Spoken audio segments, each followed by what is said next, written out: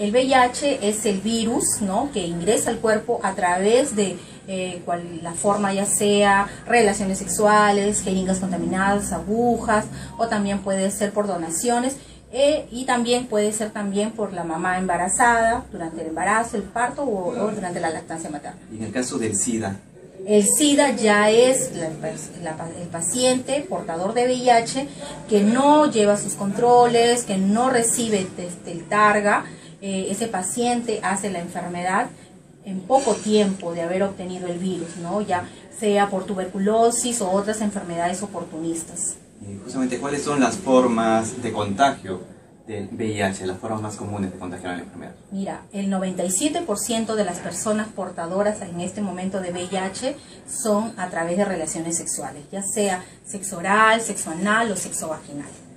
¿Cuáles serían en todo caso las recomendaciones o la forma de prevenir esta enfermedad? Bueno, la forma de prevención siempre se ha mencionado qué cosa es el uso del preservativo, ¿no?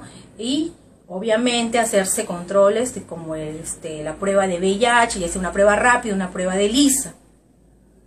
Y la gente, eh, según los, eh, las actividades que ustedes realizan, la gente suele practicar ese tipo de, de acciones para prevenir la enfermedad o son muy reacios?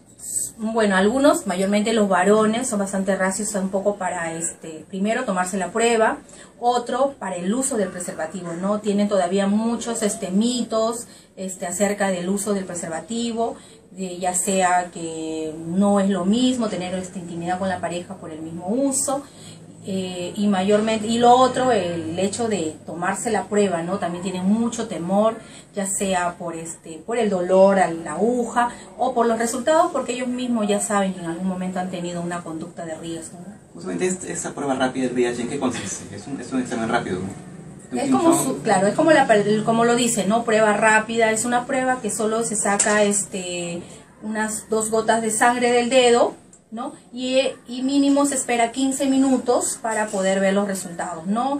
Es una forma de detección oportuna, ¿no? De, para poder detectar a tiempo los pacientes portadores de VIH.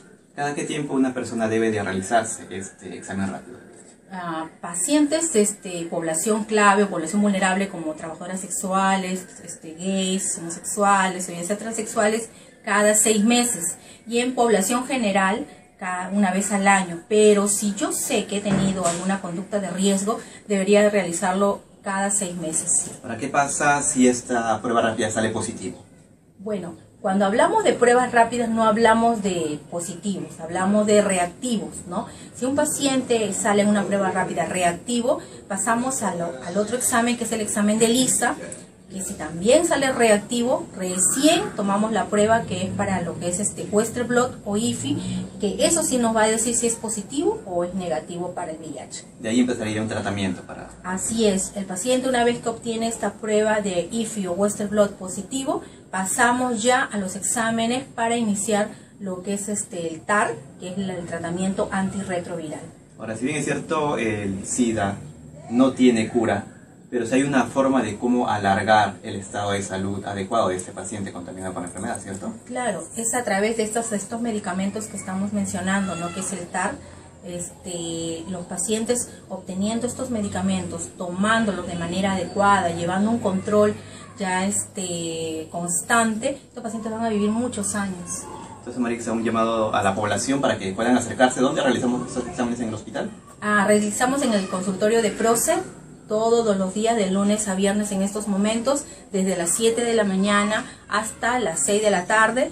Eh, solo tienen que traer su DNI nada más y con eso pueden ingresar al consultorio para poder realizarse la prueba de VIH. Ahora, esta prueba tiene dos requisitos fundamentales es gratuito y es confidencial, o sea, no hay el temor de que alguien pueda saber los resultados. Así es, así es. El paciente que se hace la prueba, el consultorio es un consultorio bastante privado, el resultado también es confidencial, solo lo sabe el paciente, más no los familiares. Si el paciente tiene confianza en decirle a un familiar, lo va a decir, pero de personal que trabaja en el servicio no va a suceder.